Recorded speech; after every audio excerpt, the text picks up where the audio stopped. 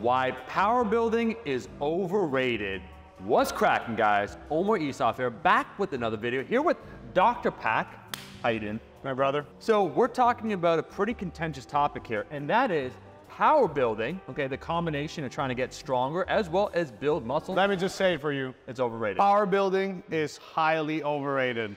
And whoever says or ah, So in walks a Kiwi King. He may or may not have a power building program. I may or may not have a power building program. Dr. Pak, why do you think it's overrated and overrated in what context? So I think in the traditional sense of power building, where you're doing a bunch of barbell compound lifts for four plus reps for multiple sets, that there's a better way to combine one repetition maximum strength training and general strength training as well as hypertrophy without spending too much time or resources on the strength component. So you could be just doing a few very specific to one repetition maximum strength sets, and then everything else in the sort of hypertrophy effective rep range. So to me, that sounds like power building. Well, let's make this distinction. So the classical Exactly. definition of power building, circa like 2014, would be either you're a five by five, three by five. So you would drive volume via the compound movements. So like if, if you're gonna make the case that power building is overrated, how are you defining power Exactly. building in the overrated context? Yeah, so in the overrated context is something that you see often happen when people talk about power building because they have this general idea of strength, strength being around the, you know, the five rep range. And I think a lot of that stems from your five by fives, your three by fives, etc. And then because they're chasing PRs and certain traditional barbell movements, you see them allocating a solid amount of their training volume to doing sets and sets of this sort of hybrid hypertrophy strength rep range. And then they end up spending a lot of time doing a sort of bastardized version of strength training and then some hypertrophy training on top of it. When they could just go in, do a couple of singles, maybe a back set or two of just heavy work, and then the rest in the hypertrophy sort of zone. At what point does there become too much power in power building? One heavy top set is fine. That's not going to interfere with your bodybuilding work. Mm-hmm. But maybe three by five is too much. That's going to take too long and deter from bodybuilding work that you could be doing. Yeah. Is that how you would argue that? Yeah, for sure. And I would also argue that there is a slightly uh, misused definition of the word strength and what strength means. Because people often assume that if you're training in the like 6 to 12 rep range, that you're not going to get stronger, you're just getting bigger. When in reality, you will not maximize one repetition maximum strength, but sort of general strength will still go up in those hypertrophy ranges. And by adding six, maybe to 12 maximum sets of like low volume, one RM specific work that will be relatively time efficient, singles, doubles, triples. Oh, And as we've seen as well with the RPE data as well, that could be relatively lower RPE than people are used to. You're covered and potentially looking at really, really solid one repetition maximum specific uh, strength gains, and then you can do all your hypertrophy stuff. So your argument is basically it's not the most time efficient way to train for bodybuilding. What if you have someone who has all the time in the world? I would argue also that from a specificity standpoint, you going and doing sets of five for your bench and your squat and your deadlift, thinking that, oh, this is the strength part of the workout. If you're doing singles and maybe like doubles or triples, really mimicking essentially the one repetition maximum strength test, you may be looking at better gains. So it's the rep range that makes it suboptimal. So there's a, there's a time factor, which I would concede it mm-hmm. is less time efficient. Then there's the Specificity. are low reps less hypertrophic than higher reps. So that seems to be the, the next point you've turned to. But we have research showing that you can achieve hypertrophy with low reps as well as moderate reps as well as high reps. So Yeah. what's your problem with low reps in that context? But you're also you're only addressing the bodybuilding goals. If I'm power building, I want the strength component. Okay. So why would I do fives Right. if I can do singles and Get take stronger. the yeah take the strength component much more efficiently, and then all my hypertrophy work five plus reps. Oh, sure. Because like a program that is like five, if you're doing five reps, that's essentially hypertrophy work.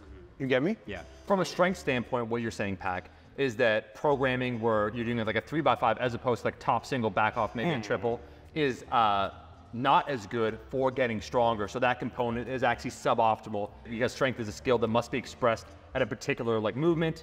You're trying to get a one rep max. So it's inefficient from both a time and effort standpoint to do like a three by five versus a top single and a back down with like three reps. It's just a different way of defining power building. Give me your hand though. And one thing I'd say is also, but uh, gents, we should define in what context. For people, let's say if your coefficient's around 300 or 400, it will work to a point. But I think the argument is that if people want to combine it, is that it becomes not only in, inefficient but improbable of achieving both goals at once. Meaning that if you're very, very strong, you'll have to concede something at some point. Where though? Like, do you think that you have to? for strength, I think so. Yeah. I, I- I'll speak from the strength standpoint. I think so.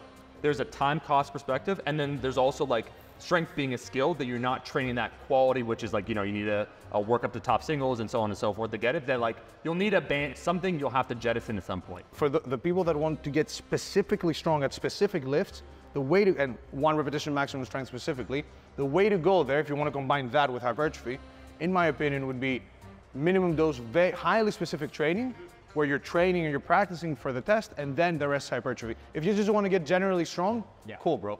Five plus reps on everything, and you're gonna get there. So just to make my yeah, Yeah. my stance on it clear, uh, I think that if you have purely bodybuilding goals, Yeah. there's no reason that you need to squat, bench, and deadlift. I think we would all agree with that, right? Mm-hmm. So like anyone trying to say like power building is definitely the best way to build the best physique, that's overrated. I would agree with that.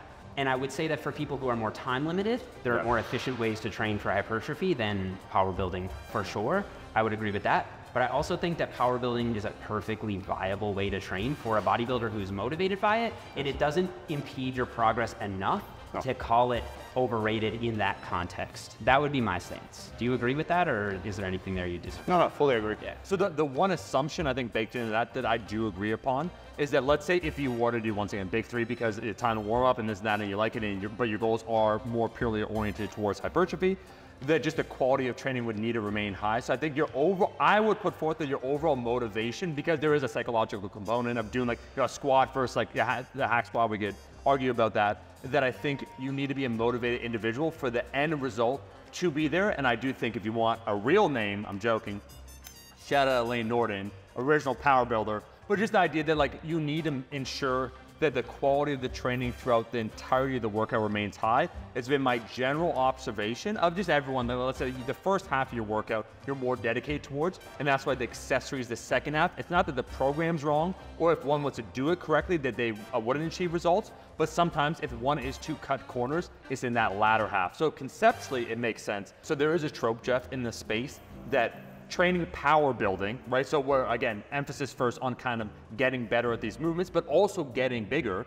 Um, that it doesn't train your arms enough, or you won't develop a physique as if uh, instead of being purely hypertrophy oriented. But what would be your response to that? I think that that does happen with people who are more focused on the powerlifting side than the bodybuilding side. Yep. And so it's just a matter of emphasis. Like, it's just more important to them that they're stronger. But if they were like, oh, it's just as important to me to have developed rear delts as it is to have a big deadlift, then you just have to figure out a way to psychologically prioritize that Yeah. for yourself, which is probably just track it. Like, track your progression and stop skipping the accessories. Like, it's a mental thing. What would be some general takeaway points for the audience? Power building is not overrated, but no, no, no, honestly, it's not overrated, but rather how you define power building may make it not it for your goals. I think it's about to be underrated in 2024. And what I mean when I say that is I'm sick and tired of this old man yelling at the clouds, the TikTok generation, of like these uh, kids that they will eschew doing like a, a genuinely, objectively, uh, definably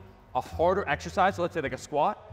And then you'll see them like, it's not that, the hack squat's a great movement, but they'll do like 30 reps and like they're saying because it's great for like IG, it's great for like TikTok. Certain movements that I think are falling out of favor that are perfectly serviceable. So it, it depends upon who the audience is. For my audience, is power building overrated or underrated? I think like it's great, and I think in some ways it can be defined as being overrated, as we said. I think to like a TikToker, and again, like wow, you're old, Omar. It could be underrated. Yeah. I still think. yeah. Great. Uh, let's all shake hands simultaneously. the three. Bring it in, bring it We're in. united in it. bench squat deadlift. Thank no, you. Hey, uh, can I tell you something? I didn't get your name. You look like this guy that's on YouTube called Jeff Nippard. Have I ever told you that? Hey, man. Oh, yeah, this is uh, in the flesh. In the flesh. The Mr. Beast trainer. Uh, so, Jeff, where can people find you? Well, you already know. If you don't know, you're not watching the good shit. On this ladder, up here, holding it down, at Friday at 3 a.m. New book out soon. Bro, Pak, where can people find you? Yeah, come on, man. YouTube channel. You know this thing's coming out never, so like YouTube channel. So we got uh, the Instagram, we got the YouTube. We'll link it all down below. Thank you so much for watching another video. If you like the video, make sure to like the damn video. I'll see all you guys, my rascals, in that next video. Peace. Jesus Olivares here, world's strongest power lifter. Aside from raising a lot of weight, I also like to raise men's confidence with style. Inside every man, there's an even bigger man. You're watching Strong Guy for the Buff Guy, the new hit show on Netflix. We've got a tough one today. Is Jesus up for the challenge? Hey, I'm Michael. I'm 27, and my gym fits are whack. That green color, man, ain't right for your skin tone. That oversized tee, I'm already over it. For your first look, man, we're gonna do something fierce. All right, let's do it.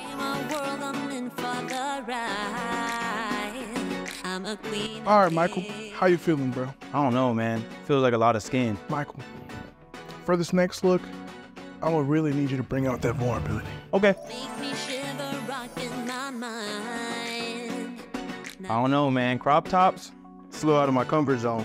Michael, who were you before the world told you who you were? Michael's this big, beautiful butterfly. I think it's time we spread those wings. Michael, scratch that. Mikey, you just set off a hunk of one. You know what? I didn't think I could pull off a pastel pink, but you were right. With Michael's newfound confidence in his brand new drip, it's time to test out a new PR. Will his new threads help him overcome his fears? Who's my little tough guy? Me.